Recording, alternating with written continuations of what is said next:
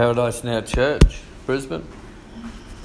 19th, all day long, at least until midnight. And uh, what's going on around us? Well, it is 2023, so it has to be misery. The prophet prophesies and it doesn't come to pass. He, he's not uh, being led by the Lord, is he? Right? You don't listen to that one. The average household now in Australia is shelling out an extra $14,000 a year compared to last year in going on price rise, groceries, fuel, uh, rates, mortgage rates, blah, blah.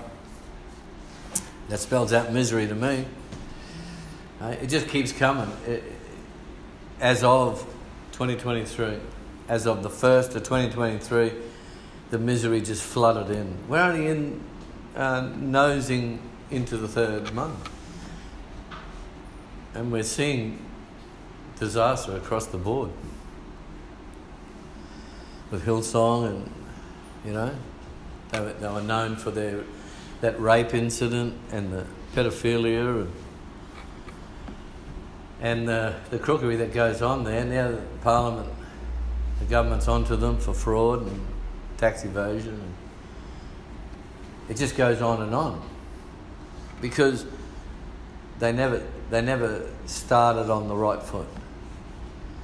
We, we can't ever be as ignorant to think we're going to start on the on the wrong foot and end up in the right place, the righteous place. No way we can walk the wide road and end up in heaven. Not even for a day. We can't get on that wide road. We can't go near that wide road. On, there's leaven there. there. There's compromise there. There's danger.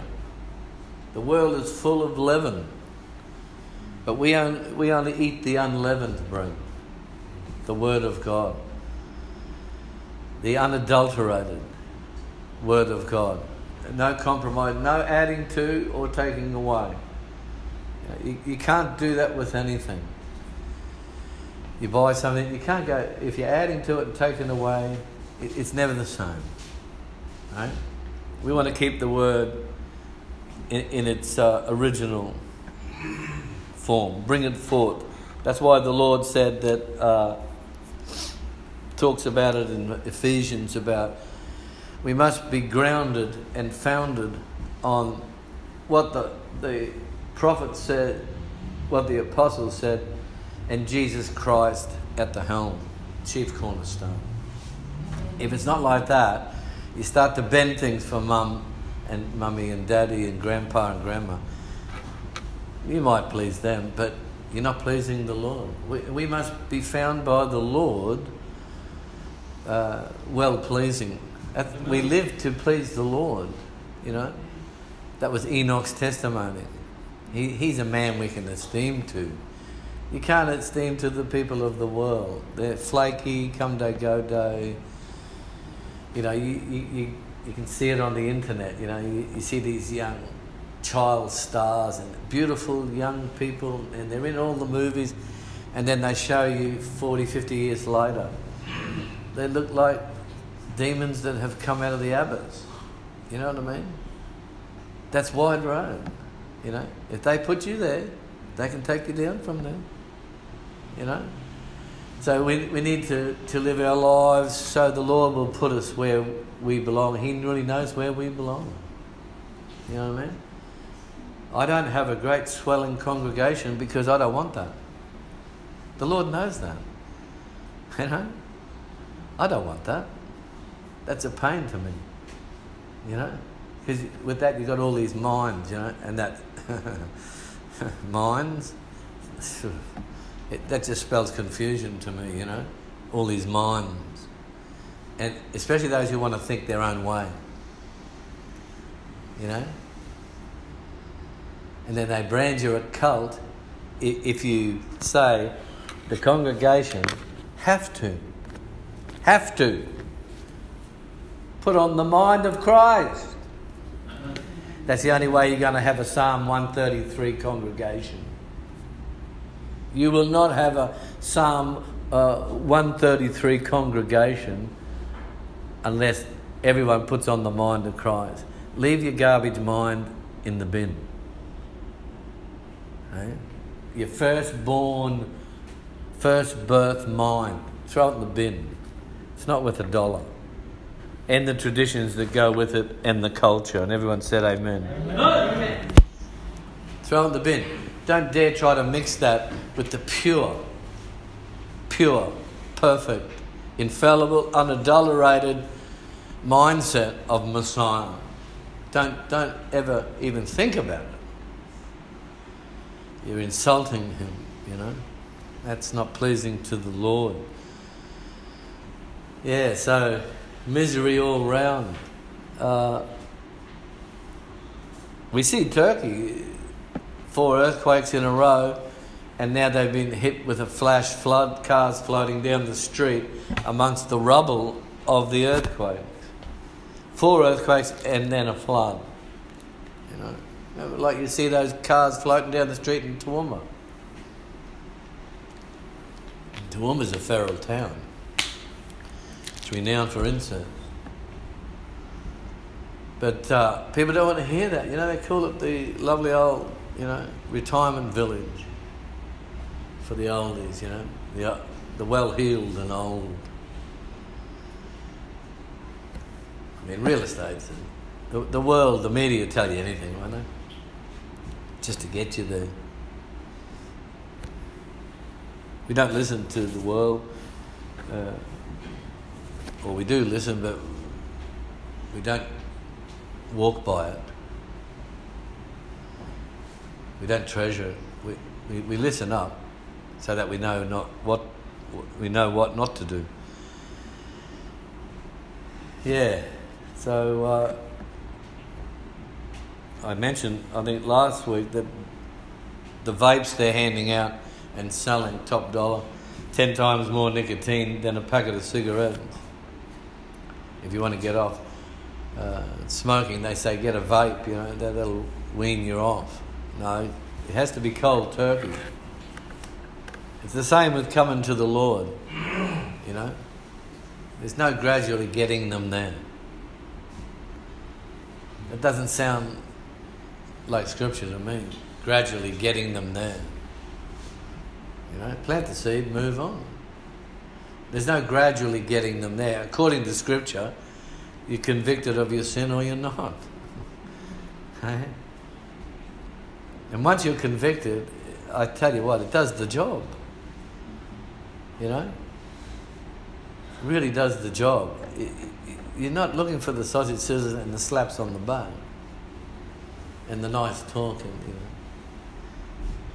I don't see that in the scriptures anyway. Any any any person the, the apostles and that uh, dealt with them. Just turn it off. The sister will put it out there somewhere. You know.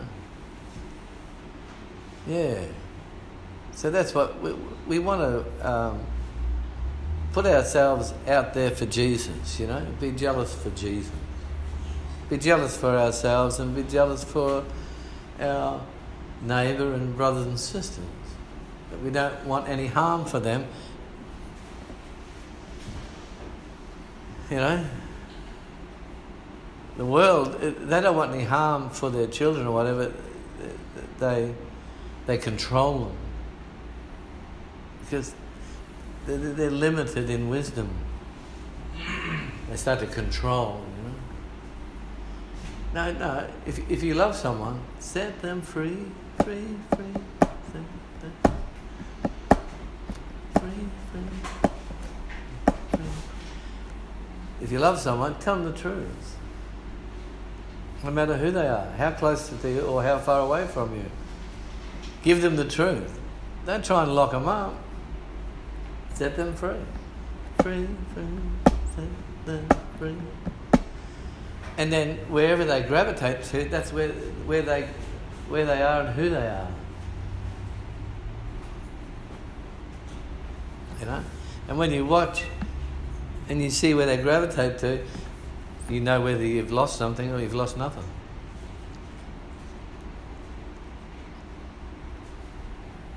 I'm being nice and saying you've lost nothing because Jesus has other words. He calls them dogs outside the house.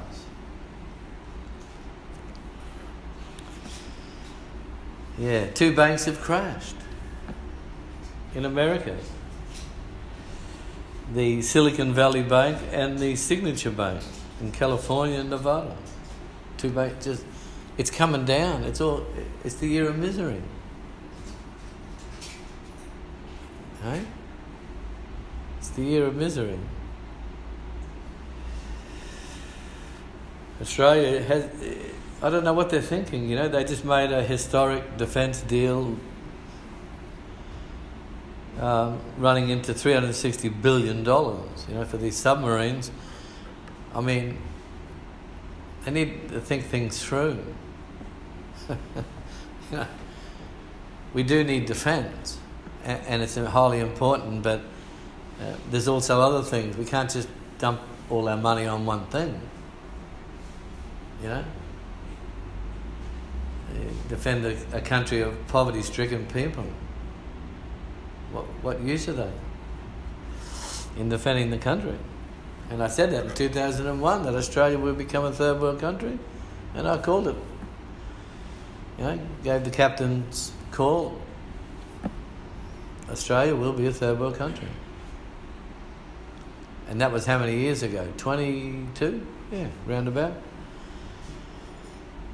So, uh, AFL, another lot. They're spending 25 million on injury studies, you know, study about the brain and concussion. And if they're spending 25 million on, on a research, what sort of money do these, these clubs have? You know? And they're paying some of their, they're paying some of their, uh, they're paying some of their uh, uh, players a million dollars a year and more. You know what I mean?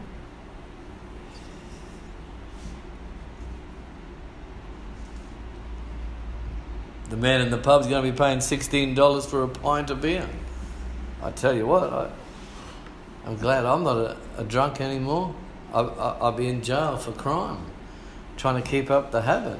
$16 a pint, it's going up. Right? I'm glad I don't bother with the stuff. That's for sure. Two and five Australians in their life experience sexual violence. Yeah, the great south land of the Holy Spirit. So let's turn over in our Bibles to Luke. There's something I want to say here and point out in Luke which I think is very helpful, very helpful to all of us. Uh, yeah. Luke 15.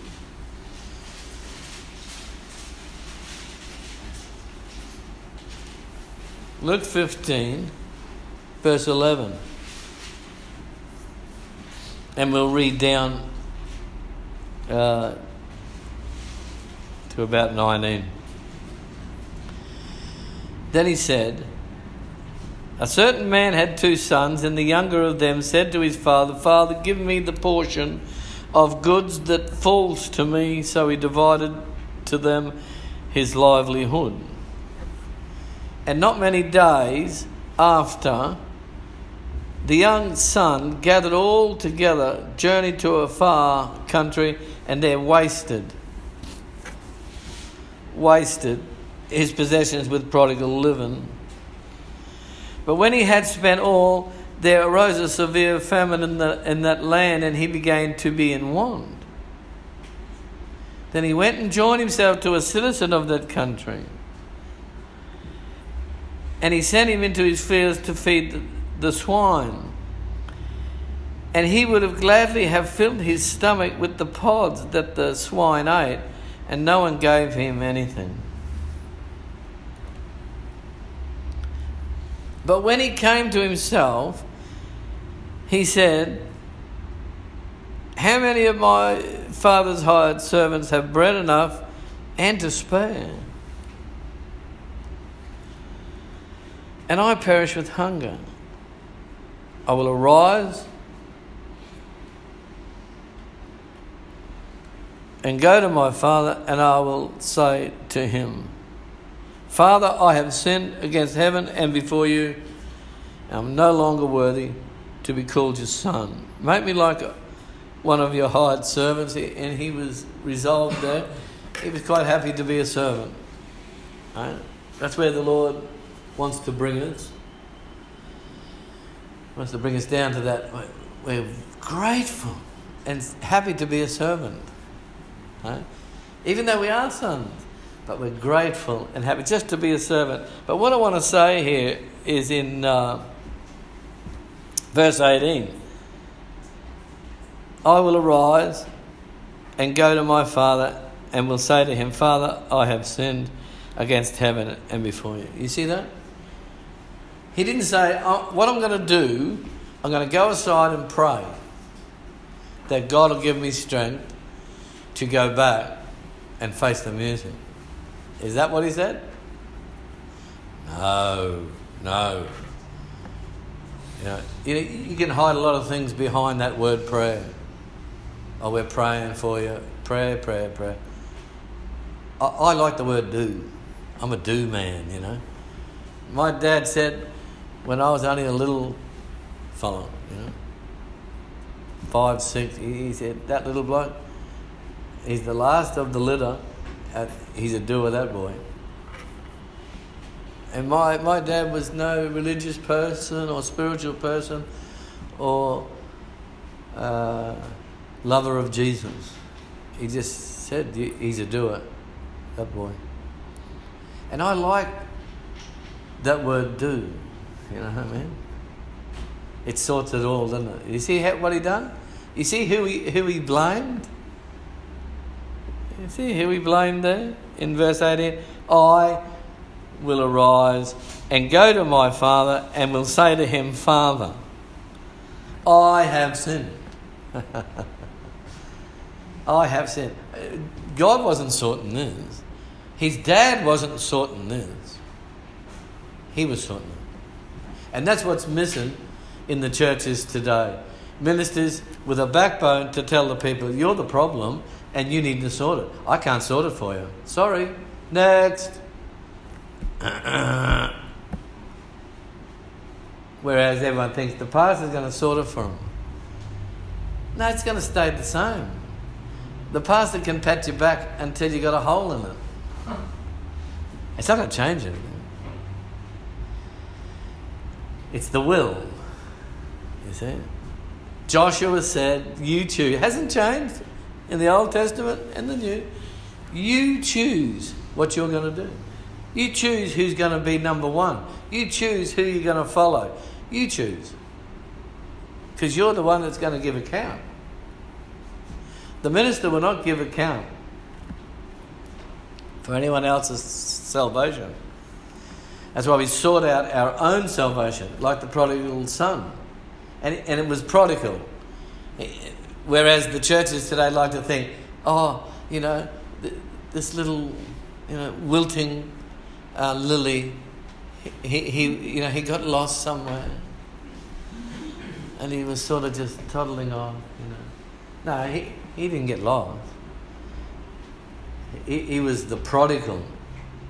You go and have a look at that word prodigal, you know. All the way through from the start. He, he, he, he, he. He, he, he. Hey? He said to his father, Give me. He's in the gimme, gimme club. Hey? So he divided his spoil, and, and, not many days after that, he gathered all his uh, stuff together, all his clothes and everything, and he went off. And he, verse 14, he spent it all. He went and blew it up the wall. He'd done his thing. He'd done what he wanted to do. He didn't want to listen to his dad. He didn't want to listen to his older brother.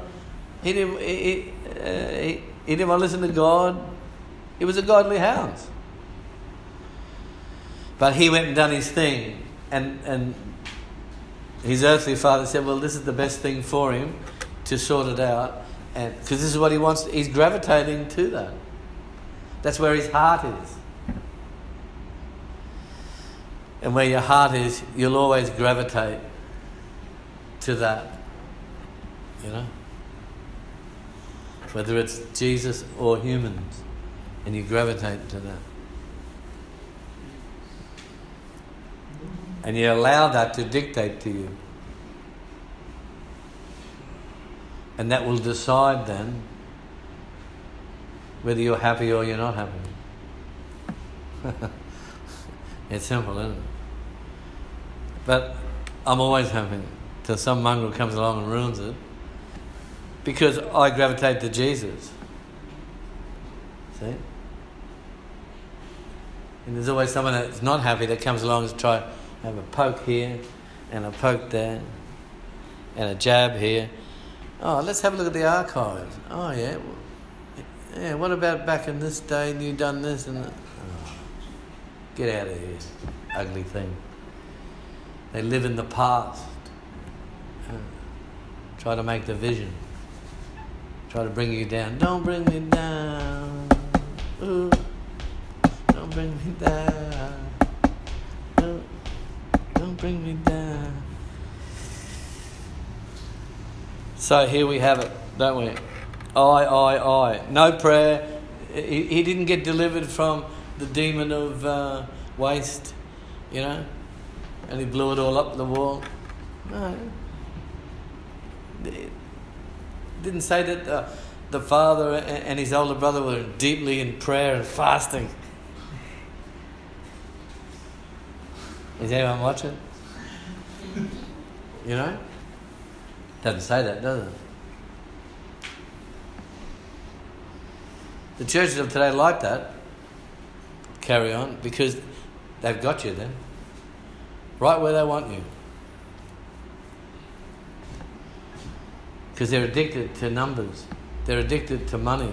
They're addicted to, to the praises of men. I'm addicted to none of it. I'm addicted to none of it. So I'm not under that control. It don't matter if there's me and my wife here. There's two or more. He's here. There'll be me, my wife, and Jesus. Hallelujah. Amen. That don't matter. That don't matter, Joe. But they've allowed themselves to be snared by the devil. See? And he takes a bit of ground there, then he takes more ground as he goes along. And before you know it, you're in the company of Lord, Lord, we did, we did. Go away from me. I don't want to know you. And that will be the biggest shock of all, won't it?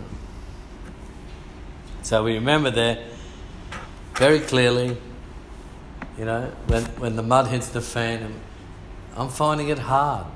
I'm find, you, look, you only find it hard to do what Jesus says because you don't want to do it.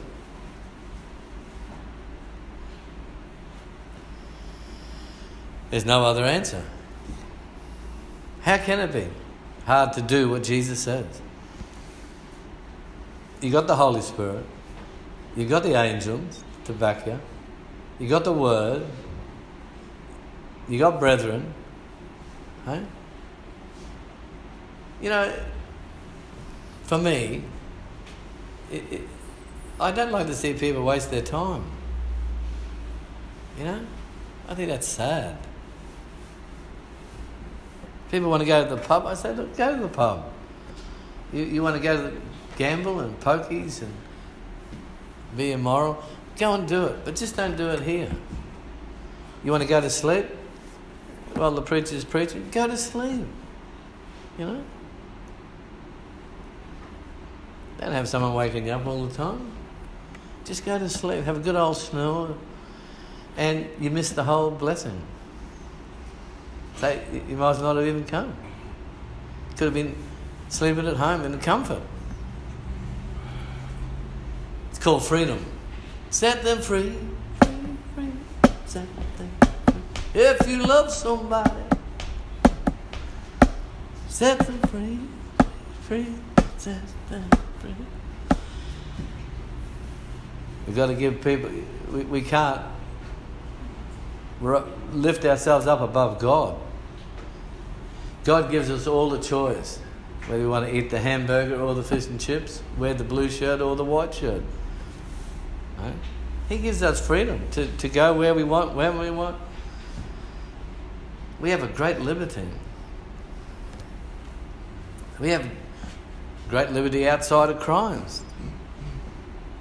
We have such great liberty when we're not saved, we're not even registering with righteousness. Right? We're not even obligated to righteousness. wow.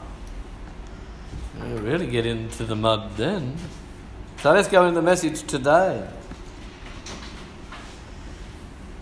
We're going to uh, we'll kick off in uh, where we started. We're into um, the S in promises. We're still doing the gap series. The gap series. There's a great gap between the narrow road and the wide road, but they're trying to close it, and we see that, and it's even advertised, you know, closing the gap with the Aboriginal people closing the gap. Sister Letta spotted an article there way after, months after I prophesied, and months after I spoke uh, and initiated the gap. That The Holy Ghost was ministering to me about the gap. They're trying to amalgamate the wide and the narrow. They're trying to make it one road, which is a one world church and a one world government. And that's the way they want it. You know? That everyone will have the mind of Satan, not the mind of Christ. Okay? But we need the mind of Christ because your mind's not strong enough and mine isn't. We need, we need a great mind. We need the mastermind. I might do a series on it, the mastermind. the mastermind coming to your town. Get your tickets today. Don't miss out. Limited numbers of tickets. All the drama they go on with, hey? Do miss out. so we're going to be reading out of the initial, in the stability, the S. We're doing the promises. Because that's the P on gap. G A P. We got down, God's made us promises and we make God promises when we signed the covenant with our tongue and said, Yes, I will love you with all my heart, soul, strength, and mind, and my neighbour as myself. If you can do that, you will be saved. Right? No good giving your neighbour sausages and you eating wagyu beef. That's not, that's not the heart of Christ, is it? We see that in the book of Acts where it all had equality. But just don't tell that to Joyce Meyer or Benny Hinn. Everyone had equality. Everyone was flying Learjets. You got a church of 1,200 people and they're all got a Learjet. Mm-hmm. I don't think so. Well, actually, I know so. Not. But they all think it's going to be such. Or everyone's driving a roller, you know. Uh, oh, cleft lip, cleft lip dollar. I mean, Creflo Dollar. Changed his name to Dollar. I need a dollar, dollar, dollar is what I need. He's the only one with the rollers. You got a red one for Sunday and a blue one for Saturday. He's the only one. Right? He's no better than Snoop Dogg, that bloke. Hey? He's hoodwinking them. Hey? Eh? He's got them right where he wants them. But that's the just deserts of those who, who aren't genuine. See, the Lord allows all things. He, he, he allows all the, the, the, the homosexuality and, and, the, all the, the filth and garbage and wars and He's allowing all that. And to say he's not is to say he can't stop it. And that he can. Right? If he made everything that's seen and unseen without hands, but by the word of his mouth, he can stop every war and argument in town. And, and there'd be no measurement of time. It would be, it would be less than a quindillionth of a, of a millidillion of a, a trindillion sepulbar second. That's even further than infinity. If you know what I mean. I'm, I exaggerate as my master does. He exaggerated a lot, you know. He said, What if you gave everything in the world and lose your soul to the devil? See? Everything. Wow, think about it. If you had everything, you gained it all. All the friends, all the. Oh, just imagine. Have all these friends. Oh. Friends, to me, it just equals, you know, uh, headache. I don't, I'm not looking for friends, I'm looking for brothers. I'm looking for sisters, family. You know, when we gather together, you know, they sort of expect you to hug them, shake their hands. But aren't you family? Do you wake up in the morning and say to my wife, "Oh, how you going this morning?" You know, and, and then your, your, your daughter or your your son's walking through the house. How are you this morning? I say, "You all right?" No, how you going? It's it's not a physical thing; it's a spiritual. It can be even in the tone of your voice. You know, you can read in the tone of the voice. As Paul spoke about that, he said, I don't come to you with heavy words. I come to you with a spirit of meekness, you know, whatever. Whatever the situation. He said, but I could have came and put the heavies on you, but I didn't. Yeah? So, we're going to start reading in um, Matthew 7, just sort of to get the feel again of the as, which is stability. Right? We're going to read Matthew 7. Matthew chapter 7 and verse 24. We'll pick up, this is where we were last week. Therefore, whoever hears these sayings of mine and does them, I will liken him to a wise man who built his house on the rock, and the rain descended, and floods came, winds blew, and beat on that house, and it did not fall, for it was founded on the rock. But everyone who hears these sayings of mine and does not do them will be like a foolish man who built his house on the sand. And the rain descended, floods came, winds blew, beat on that house, and it fell, and great was its form. And so it was when Jesus had ended these sayings that the people were astonished of his teaching, for he taught them as one having authority and not as the scribes. See? one having authority. And so we're building our house, our lives. We're building it and, and on the rock, Jesus, and we're putting on his mindset. That's part of building on the rock. Not what I think, not what you think. Because what I think is different to what you think, but what he thinks. See? So, in all situations, in our judgments, and in, in our discernment and in our relationships, it's always the mind of Christ. And that keeps us, oh, look, you know, the mind of Christ and Christ Himself, it's not miserable and down and depressed and stressed and, and, and undecisive and uh, Jesus was never known to be lukewarm towards his dad you know, towards his Father. And the mindset of Christ, uh, the Lord took the time to write it by the, uh, a human uh, means for humans, you know.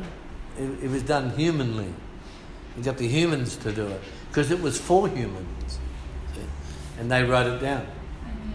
And showed us, oh, look, you know, if you could, if you could read my mind, son, what a lovely thought would tell. Just like an old fashioned movie. And it's just like opening up the mind of Christ, isn't it? When we open up the pages. Right? With a bit of Jim Croce there on the side. Huh? And we're opening up the pages and we see the mind of Christ there. Right? He said, I'm as near as my word is near, and his word is here. And where two or more gathered in his name, he's in the midst. It's a wonderful to have the Lord here with us today. Let's give him a hand.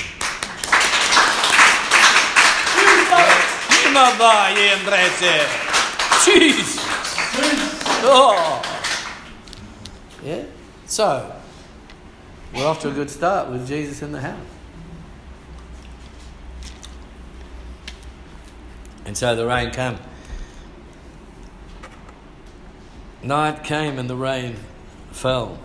Nobody wants to know. When you're old, when you're old, nobody wants to know.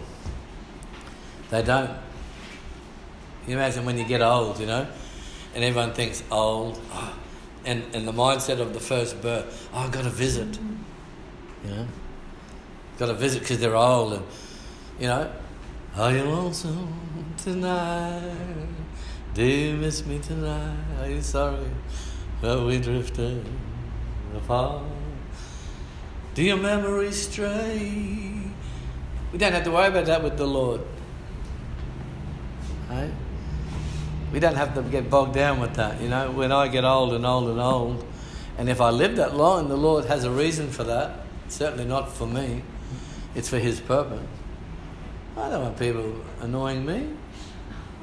Coming to my bed when I'm there with me slippers on and probably a big mess beside me or something. I don't want that. I want people to enjoy themselves. Because I'll have the Lord the Lord with me. I'll have my Bible with me, have the Holy Ghost with me, and the angels will be hovering around somewhere. Right?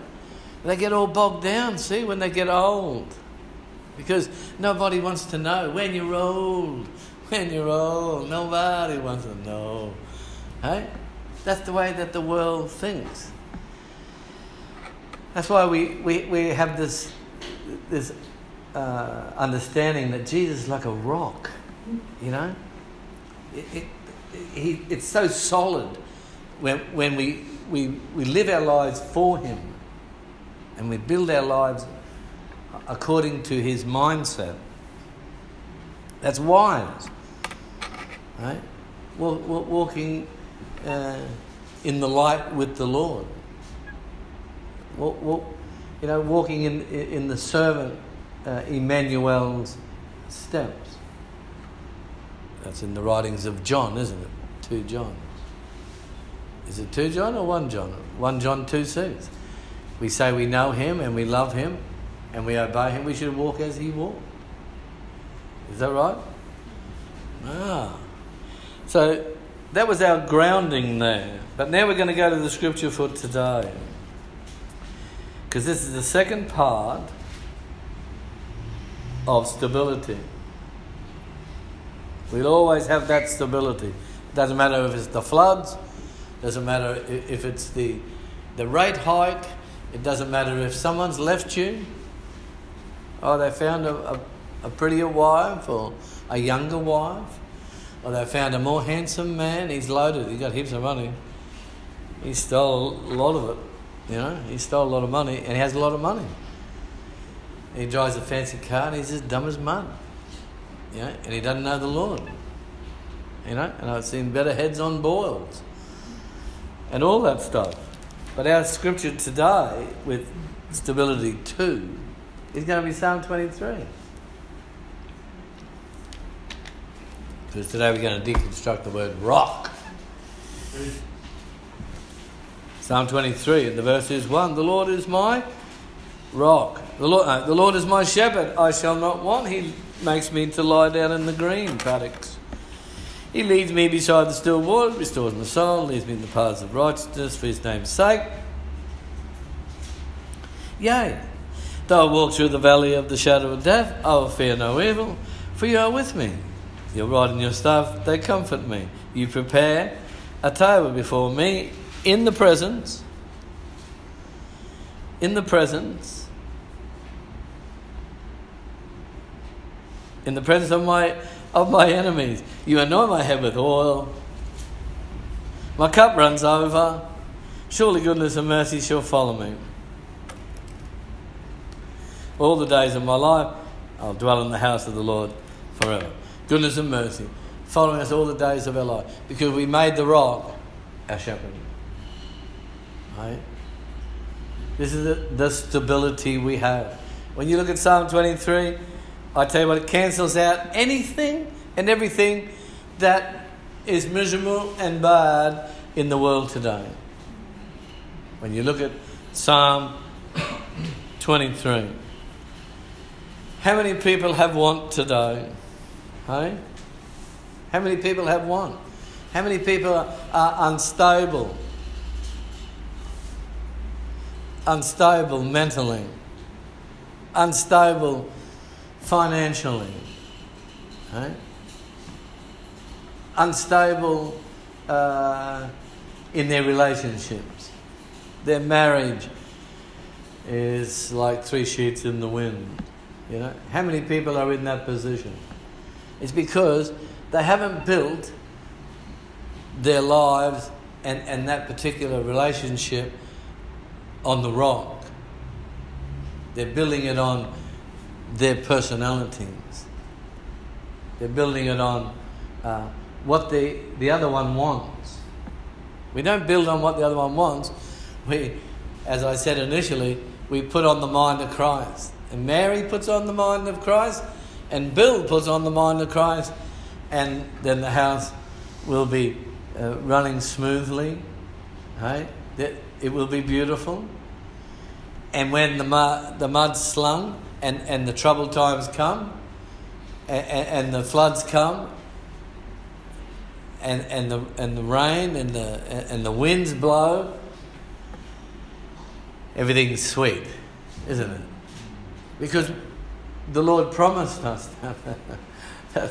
this is the essence promises. The Lord has promised us. He promised us if you make uh, Jesus your Lord, He'll be your shepherd. He'll be your Lord and your shepherd. And you won't be on the one. But we have to make sure that He's the Lord. Amen. Amen. The Lord is my shepherd, I shall not want. He makes me to lie down in the green pastures. And He leads me beside the still waters. Well, there's no turmoil there, is there? The tranquility of the, of the still waters.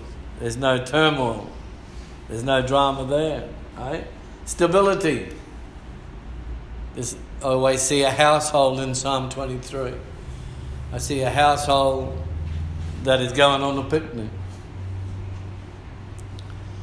when I read Psalm 23. I see the Lord going with them, going with the husband and wife on the picnic. Right? They've got plenty in the basket. There's most probably going to be food left over for a, a snack in the evening. Right? This is this is the household here. This is if everyone and anyone wants to have a household that's got stability, it's Psalm 23. You can build a house, sketch out a house, and write Psalm 23 in there, and there'll be nothing but glory coming out of there. Right? Psalm 29 9. Glory to the Lord. So, the Lord is my shepherd, I shall not want. That's a promise of His. But we can't have it unless we keep our promise. How many keep their promise to the Lord since we've come to the Lord? Some it's one year, two, 10, 20, 30. You can't expect this to be fulfilled unless we keep our side of the arrangement, with the covenant. So we made a covenant. And when, when things aren't working out and things aren't right, it's nothing to do with the Lord. He, he always keeps his word. Right?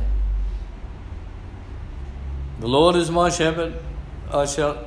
Well, I like to put if in front of that. I'd like to put a really big if, you know, in sort of like in calligraphy style, in a box before the. You know, just on the side. Just have it on the side. A big if. If the Lord is my shepherd, I shall not want. And of course, we double that up, not wanting anything. Because he, he's dealt with the hunger, hasn't he? For the world.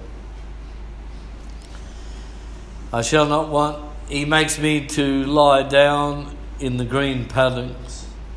That's nice. Not the dirt, not thorns and briars. Hey? Have a look in Africa.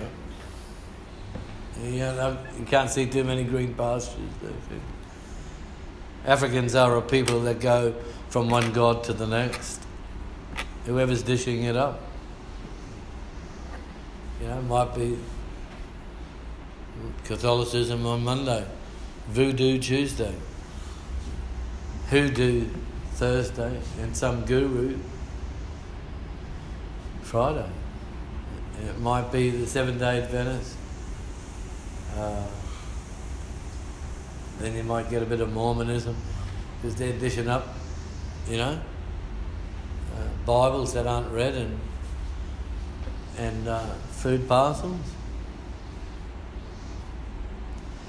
Get a lot in with the food parcels and vouchers. They're always handy. You know? The Lord does say, you know, eh, eh, to give and, and help people, but He didn't guarantee anything of salvation from that. I don't read one scripture where the Lord said that people came to the Lord because they had a feed. I don't find one anyway. Uh, you might be able to show me a couple on your way in your readings. It makes me to lie down in the green paddocks.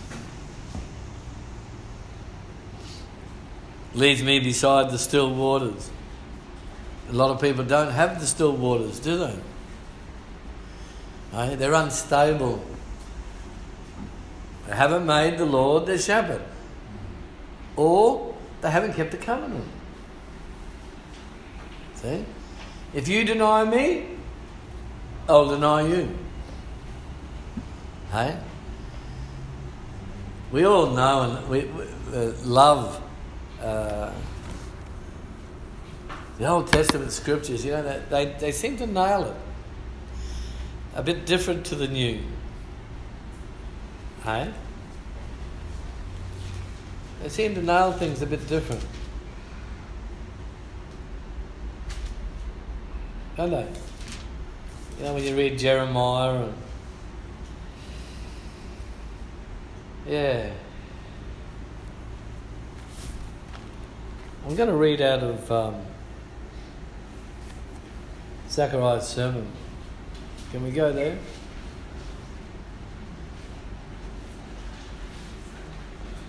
Zechariah 7.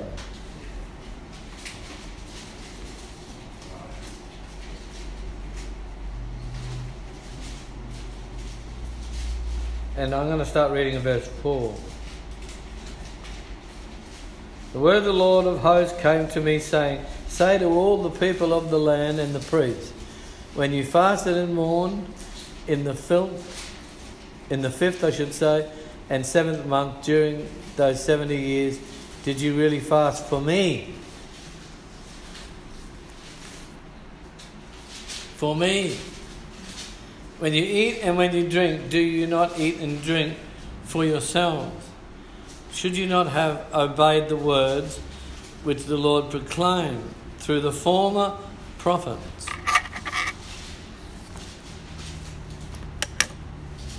When Jerusalem and the cities around it were inhabited and prosperous, and the south and the lowland were inhabited. See, are we doing it for Him? Are we obeying the word? We can't escape it, can we?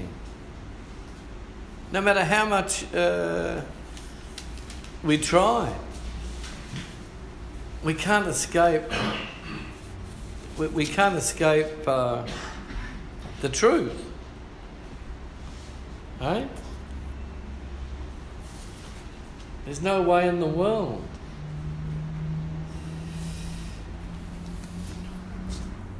So if the Lord is your shepherd, you shall not want.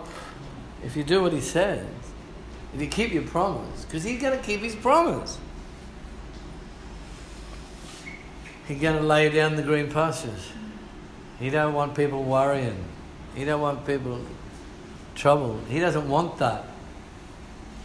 He desires that not one perish. Right? But he can't go against his own word. Right? That wouldn't be right for the Lord to go against his own word.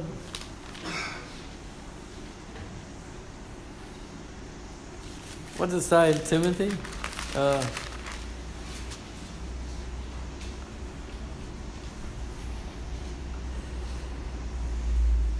what does it say? We'll go to, I think it's 1 Timothy. I'm only going as, as the Spirit, about 3,000 scriptures in my head. Right? It's just coming at me from all directions.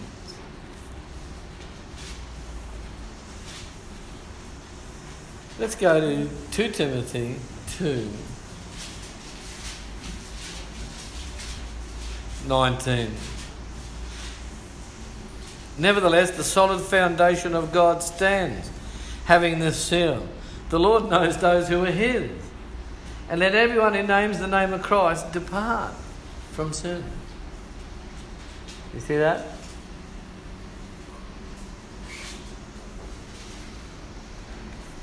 And then, of course, 2 Timothy 2 11. This is the faithful saying. For if we died with him, we shall also live with him. If we endure, he shall also, we shall also reign with him. If we deny him, he will deny us. See? If the Lord is your shepherd, you shall not want. Right? That's his promise. And he promised if you deny him, he'll deny you. If he calls out to you and you don't answer, you're going to call out to him and he won't answer. Isn't that what the prophet said? Zechariah, is it? Yeah. You call out to him and he calls out to you. If you answer, you know, when we read the word, we're answering him. He's calling out to us. The word is calling out to us when we read the Word. The Word is speaking to us. And who's the Word? Jesus is the Word. Mm-hmm. He's speaking to us. When we pray, we're speaking to Him. So when He calls out to us, right? We'll just zip over to um, Romans for a minute. Romans. And we go to Romans chapter 10.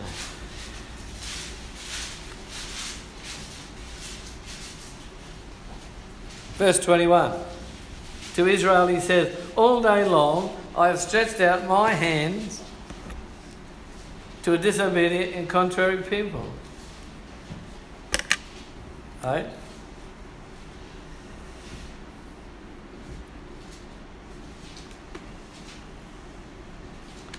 And then, of course, we got Romans 10. And the verses 14 How then shall they call on him in whom they have not believed? And how shall they believe in him of whom they have not heard? And how shall they hear without a preacher? And how shall they unless they are sent? As it is written, How beautiful are the feet of those who preach the gospel of peace, who bring glad tidings of goodly things. But they have not all obeyed the gospel. Okay? For Isaiah says, Lord, who has believed our report? So then faith comes by hearing, hearing by the word. He's calling out. The Lord was calling out to me through the Aborigine. The Aboriginal. He's calling out to me.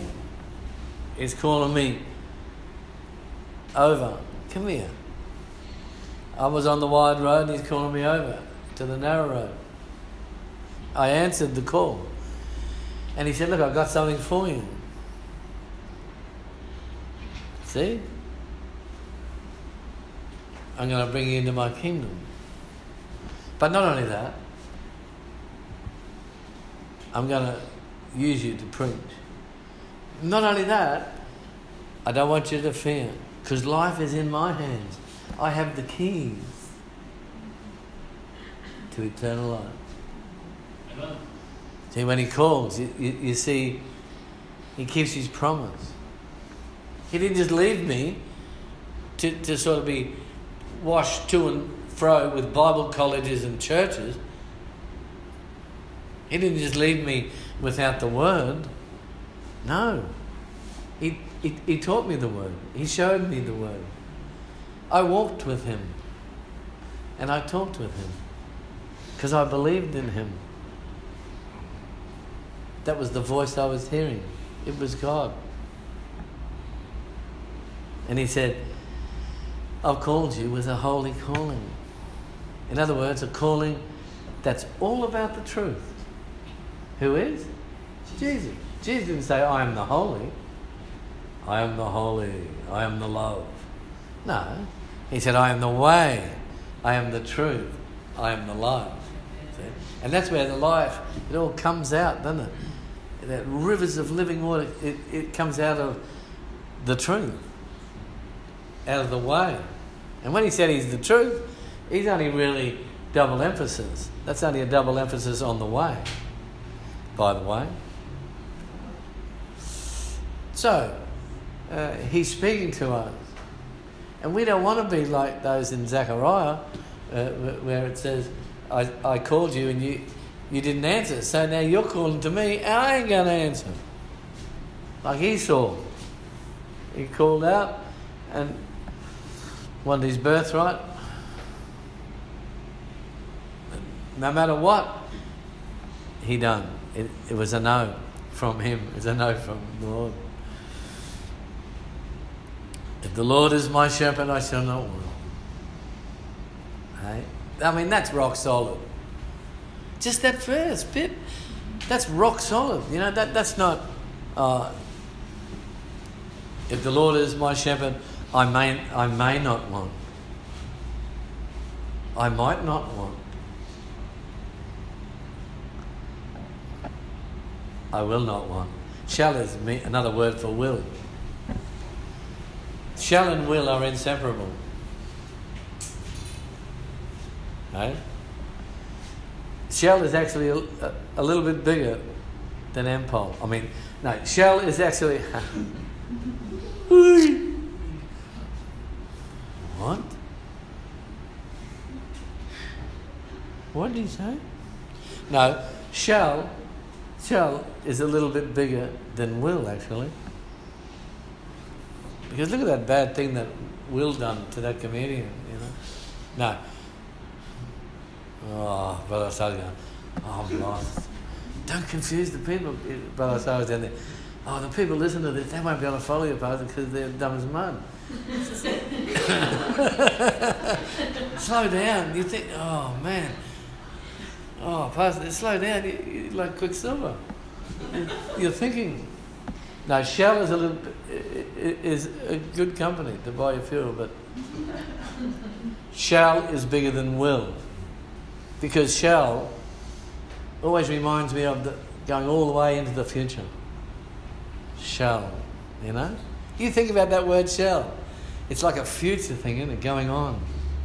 But will is more immediate to me. If you know what I mean. No. You know? If the Lord is my shepherd, I shall not want.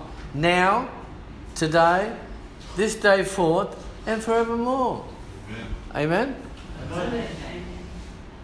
See, that's all in the proviso that I continue with Him. That's Romans 11 22, of course. If we continue on, not flash in the pan, right? Because everything's going good, and then the Lord decides to slap you up the side of the head and chasten you, and everyone think, oh, that's the devil. Well, it might be. He's using the devil to do it. He, he created the destroyer to do his dirty work. See? He let the devil loose on Paul, didn't he? Let the demon loose. And then uh, they said to hand, hand over that young man who was in an incestuous relationship with his mother, hand him over to the devil. And lock him out of the church, hand him over to the devil. Uh, he didn't cast the demon of incest out of him, did he? Hello? Is anyone there? Hello? Hello? He didn't cast the demon of incest. He, he said, lock him out of the church, hand him over to the devil, and give him a good dose of, of the devil. And then he might realize how bad it is and repent and come back. Amen? Amen? But there has to be that repent, doesn't there? Otherwise, it's just repeat. He gets booted out. Uh, you boot him out again. And I don't know how many times he can be booted out without being banned for life. You know? If you play up, you got to go. You know what I mean?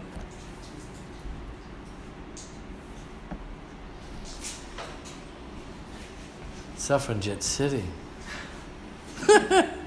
hey? The Lord is my shepherd. I shall not want. He makes me to lie down in the green paddocks, hey? whether you like it or not. You might be that. You might be one of those people that think they're really humble. You know? But he's going to make you lie down in the green pastures. You know, you, you know what I mean? You might think you're really humble and say, oh no, I couldn't do that. I'm, I'm going to eat the stale bread and I'll save me money to give to the poor.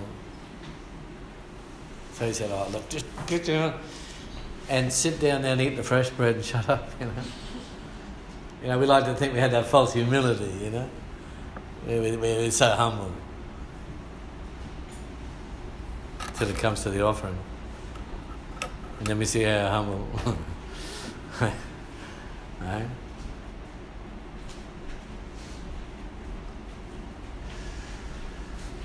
You might might be the old uh, I can't give, you know, with the offering. I don't see that in the Bible anywhere. That, that's not biblical. No, you don't want to give. Know?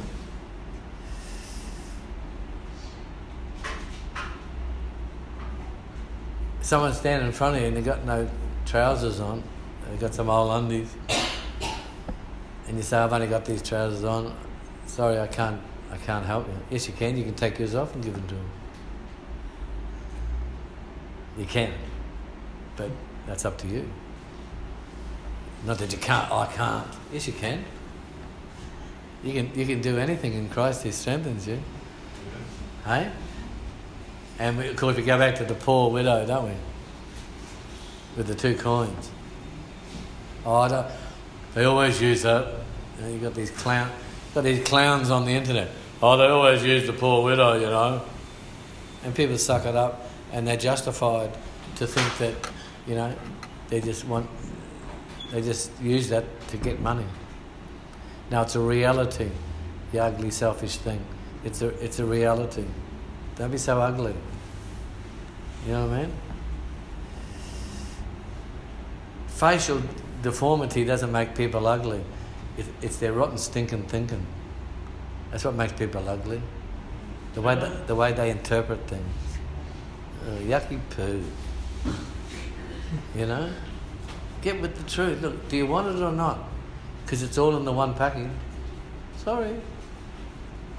You're not going to go and take anything out of the package. Not in this church.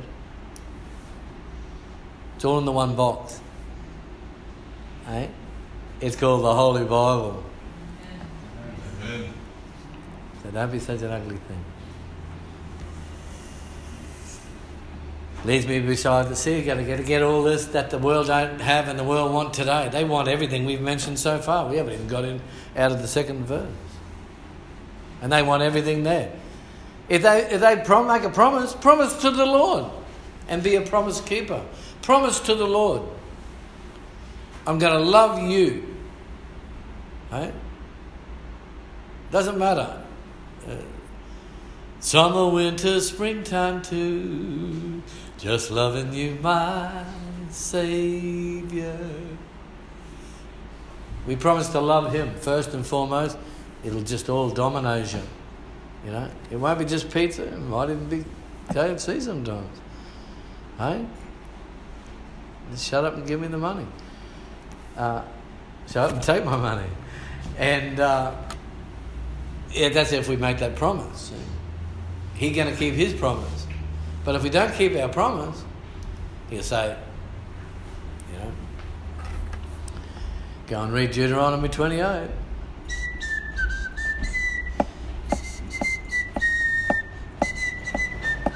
Go and read Deuteronomy 28. You reckon God keeps the promises whether you do or not? No, curse you. Oh, it's sunny Sunday. Don't talk about cursing. That's part and parcel in the box. It's all in the box. And you unwrap it, you know, you, you, you've gone to Amazon and you've ordered something. It's cost you an arm and a leg. Postage $320 and the article was 15 And you unwrap it, you know. Yeah, all the parts are here. They're all in the box for the one item. And that's the same as the Holy Bible. You know, you can't take anything out, it's not going to work. It's just not going to work if you take anything out or you put something in and add to it. It's not going to work. It only works when you do it according to Christ. That's why you got so many accordions in the New Testament. You know, it's all.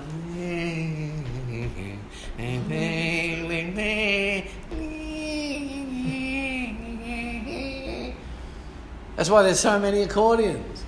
Because you're in accord with, according to His purpose, according to Him, according to Christ's doctrine, according to, according to. Yeah, it's musical, isn't it? Like the old accordion. Da, da, da, He'll never grow old.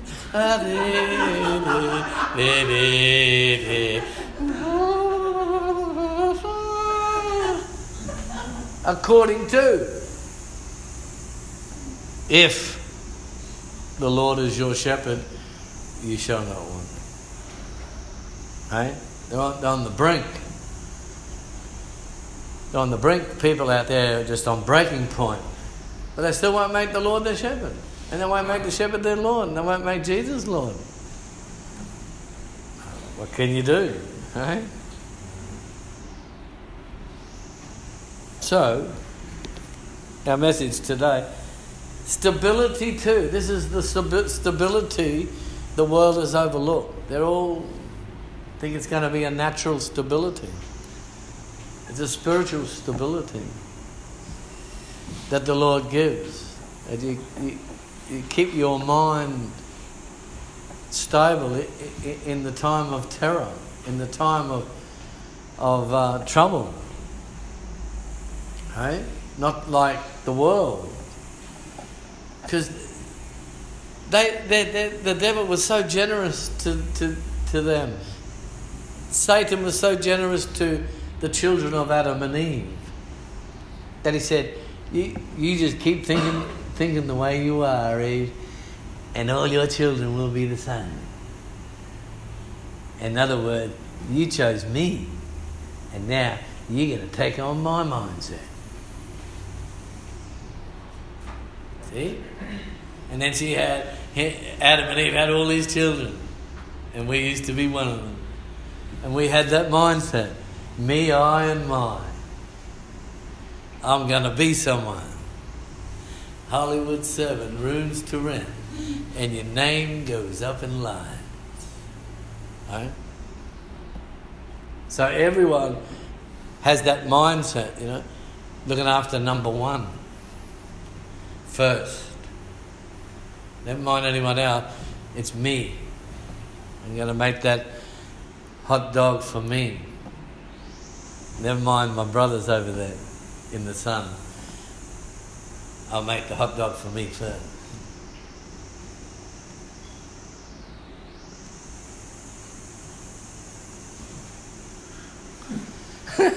Whereas you should have made it and went, this, this feels better than eating it. And just put it down there. I'll make another one for the other brother. I won't eat till I get back. When they come out, oh, there's your dogs there, bro. And everyone's, oh, wow. You know, that's loving your neighbour as you love yourself. Not thinking of yourself first. All, all these little things make for still waters, don't they? You know, when you're doing things wrong all the time, you don't have that peace. You're sort of like, wonder what's troubling you. It's because you're putting yourself first all the time. You're going back into that that uh, Pastor Eve mindset, and Adam too. Well, he, he was just a glutton for punishment, wasn't he? He, he just followed on. Oh. you know, I'll, let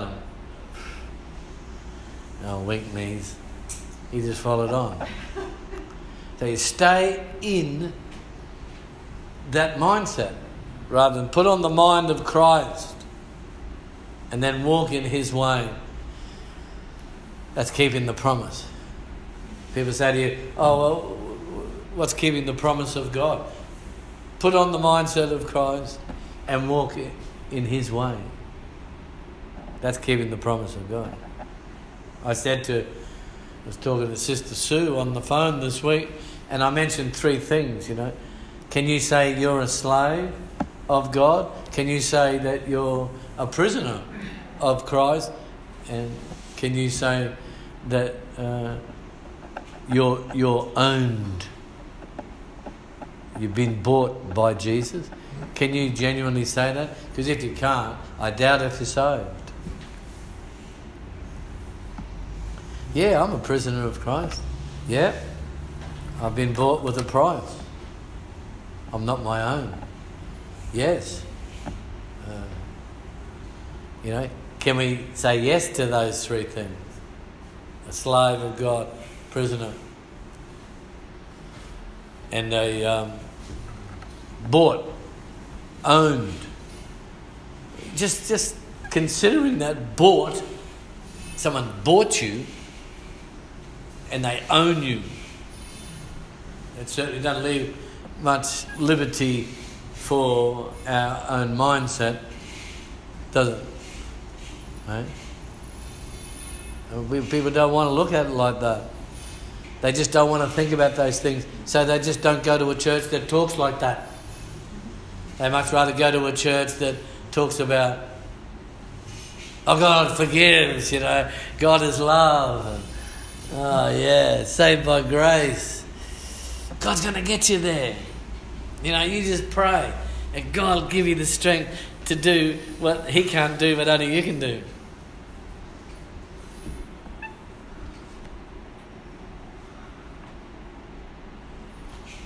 I don't know if anyone got that one, but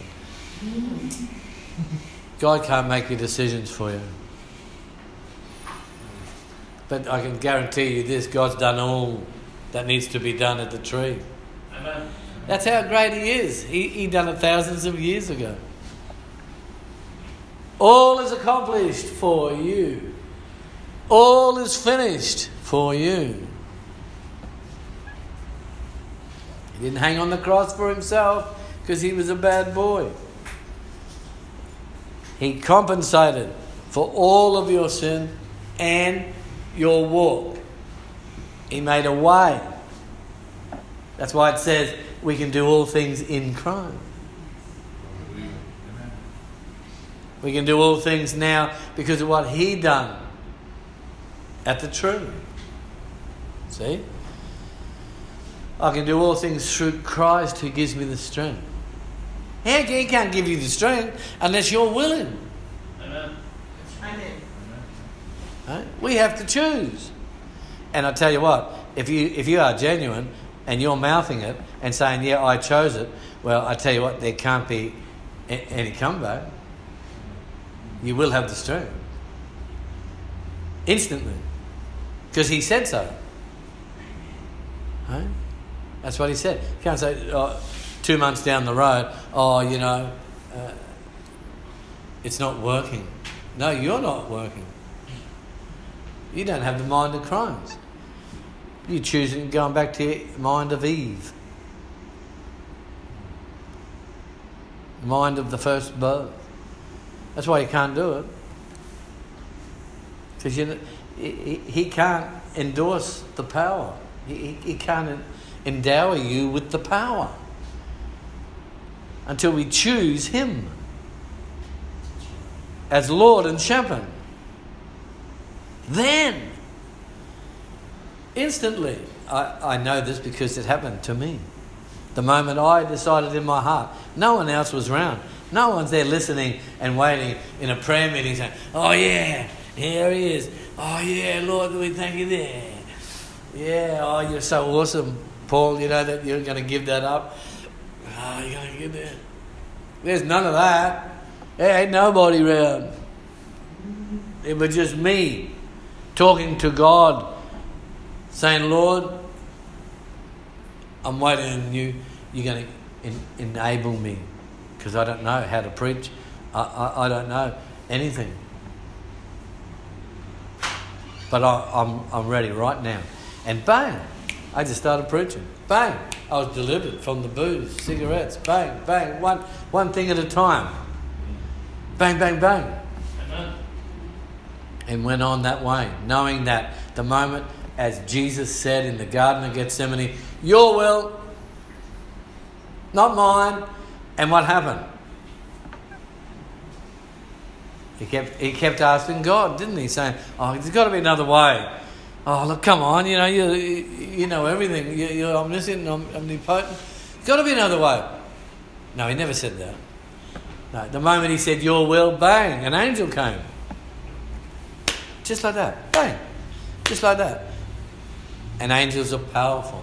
And that's what the Lord's saying in the scripture. The moment you choose Father's will, which is to do what Jesus says.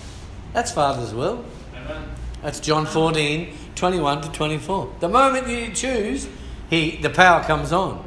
Just switch like a switch and a switch. Power comes on. Instantly. You can't fool God. He knows if you're real. He knows if you're playing games. He knows if you've got some other agenda. He knows. We can't fool him. And you just come a gutter if you're not real. And things will be worse than ever. Because God won't be mocked by any created being. Not even that great created being Lucifer. He was a beautiful thing. Hey? I reckon he was the beautiful, beautifulest of all. The angelic beings. But he wouldn't put up with his rod. Hey? Be, be not deceived, O man and woman. God is not mocked. So when we say something in our, in our heart, it's best not to tell anyone. It's best, you know, at the end of the day, best to say it genuinely in your heart. And then people will see the difference. they won't have any, they, they won't hear anything along the grapevine that you've gone backwards to what you said. Because it's going to come out somewhere. Right? It always does. Comes out somewhere, and then everyone goes, duh. ah, no, fair thing. Anyway, moving right along. Stability two. Here we are in stability two. We were going to deconstruct, weren't we? The word rock. We might do that next week. But we got stability two. Still going. We do stability three.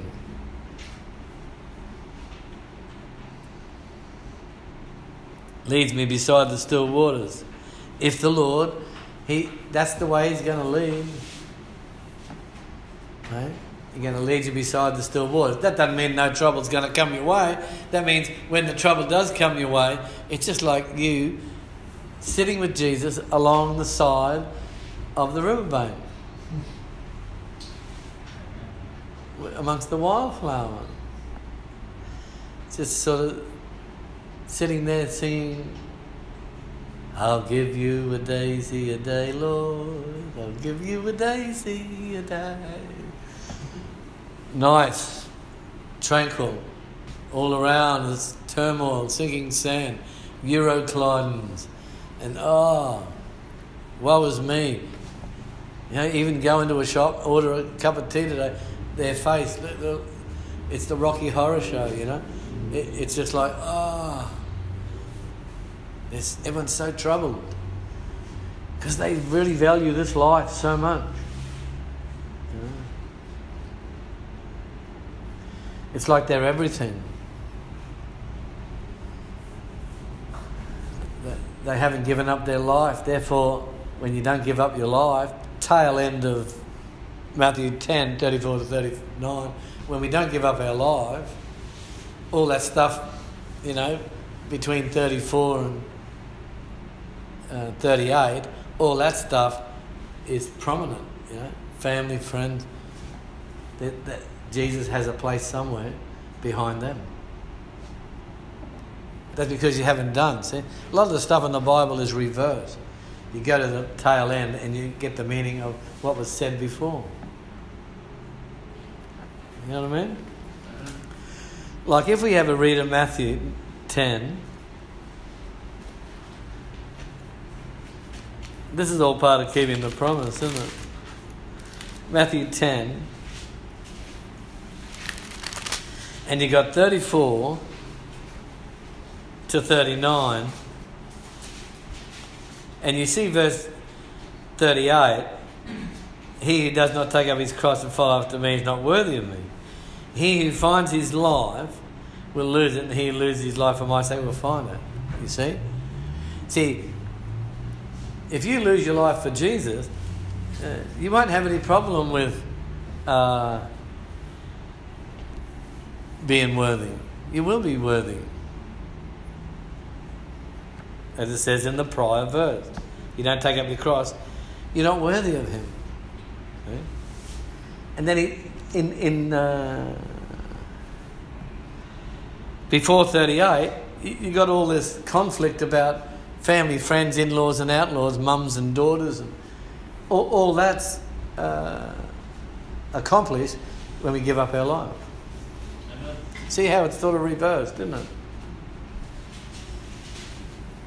You do, uh, you do 38 and 39, and then 34 to 38 will come to pass in your life.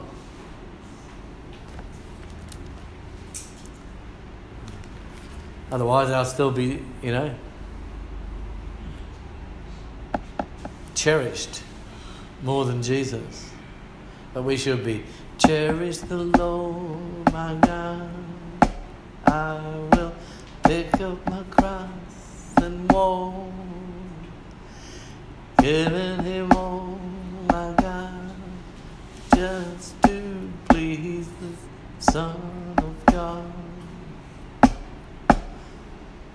You know what I mean? You're cherishing the Lord. So all that stuff before 38, it just goes down the drain. Because you haven't picked up your cross. That can make for a nice cross, you know, having to give up all that family, friends, relatives, and putting them somewhere down the back. And not putting Jesus, oh, come into my life. Here, come over here, Jesus. You can have the seat near the dunny. I've prepared a table here for you, Jesus, next to the toilet in my restaurant. No, come into my life, Jesus. Come up the front here. This is the best table we have in the place. Yeah, not next to the dunny. Oh, who's that? And Jesus sitting there at the table next to the dunny and all woofing out, you know, as he's, as he's eating his rissoles and everything's woofing out. He's eating his steak. And Jesus looks up and says, Who's those up there? Oh, that's my mother and, and, and father and dad, uh, my cousins and, and uh, my grandmother and auntie. They're all up there. And my grandchildren too. Aren't they beautiful? And Jesus sitting there next to the dunny saying, Yes, they are beautiful, aren't they? As another drop drips into the cup of wrath. Tink. no. No. He has to be preeminent, eh? That's how we promised that. He's going to be preeminent in the covenant. We made a covenant, made an agreement. Right? Uh, uh, you sign an agreement with the real estate and you don't keep the agreement, you're out. You know, you sign an agreement, a contract, uh, $50,000 or something, and then the fine print says you can't do this and you can't do that, and you do it, contract's not worth a dollar. See? How much more Jesus? How much more uh, should we be in subjection to the Heavenly Father of lights in whom there's no change or variation? Can someone say amen? amen. Okay, I'll leave it there. Thank you, Jesus.